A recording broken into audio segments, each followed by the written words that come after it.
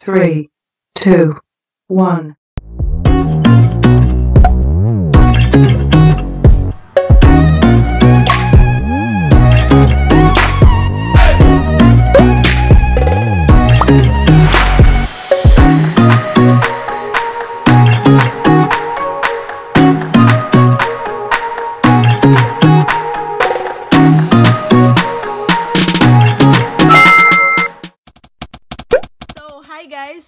Welcome back again to my channel. And for today's video, ita-transform natin itong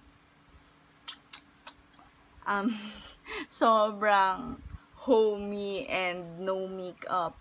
And basta itong normal look ko na to into ABG makeup. So, we all know that ABG means Asian baby girl.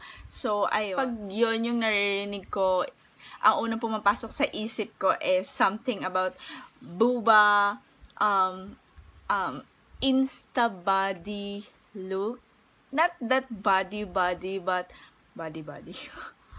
Pero something na, ayun, um, ilalagay natin yung description ng ABG here sa screen. So, ayan. And I think, hindi ko makukumpleto yung look ng as in 100% kasi hindi tayo makakapagpa-nails kasi bawal lumabas ngayon guys. Stay at your home na lang muna. So, ayan, gawin natin lahat ng possible na pwede natin gawin, gawin sa ating mga bahay-bahay. So, mag-tiktok muna kayo or mag-film, manood ng YouTube videos, Insta. So, ayan.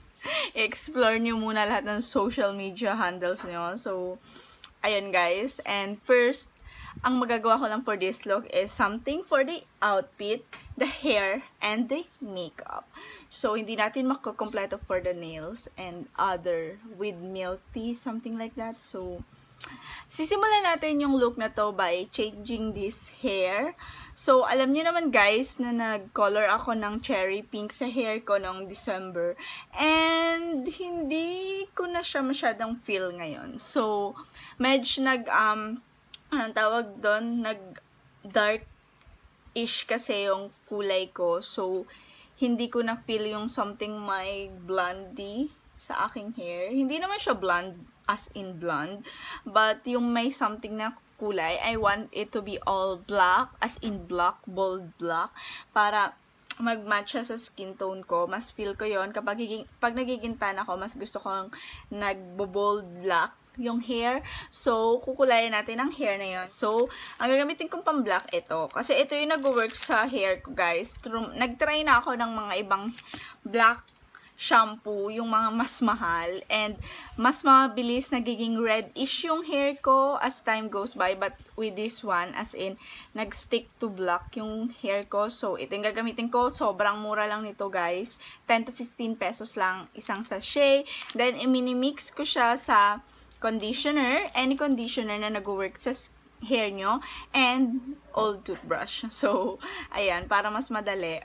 Kasi, wala akong yung proper na toothbrush pang apply ng hair color. So, toothbrush na lang, guys. So, hindi ko na ito ginagamit sa teeth.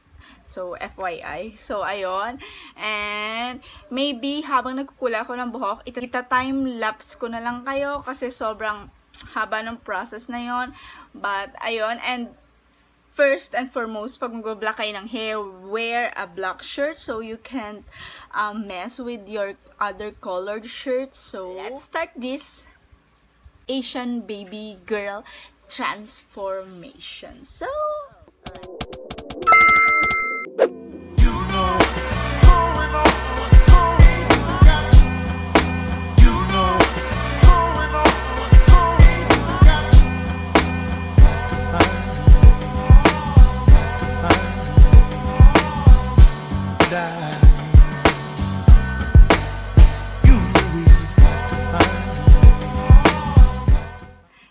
Guys, tapos na tayo sa hair and ayan, binanlawan ko na siya pero basa pa siya. So, habang nagme-makeup tayo is magpapatuyo na din tayo ng hair but let's wear some sunnies para walang hair na nasa mukha natin habang tayo ay naglalagay ng makeup. So, um, pagdating sa ABG makeup, guys, more on fierce and something not that um, light tone yung makeup. So, more on dark-ish makeup tayo and mag-eyeliner tayo for this look. At alam niyo naman na favorite ko talaga mag liner. So, ayun. Um, ita-timelapse ko na lang din tong makeup na to para hindi tayo sobrang um, haba ng video na to. So, ayun guys. Simulan na natin mag-makeup.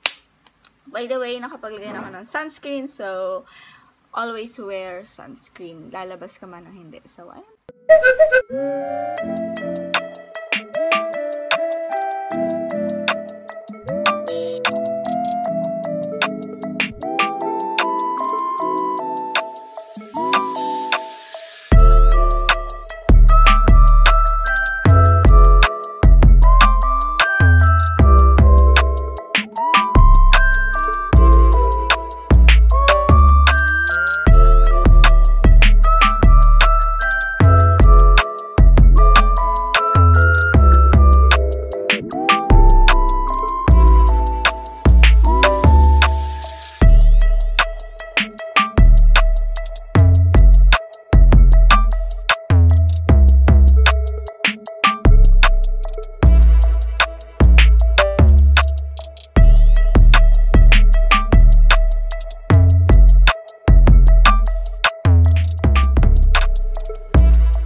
Tada! So, kala mo naman may nagbago.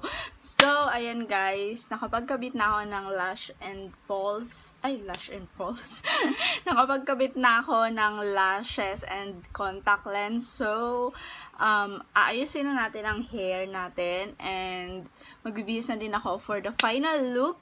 And I will be back in a bit.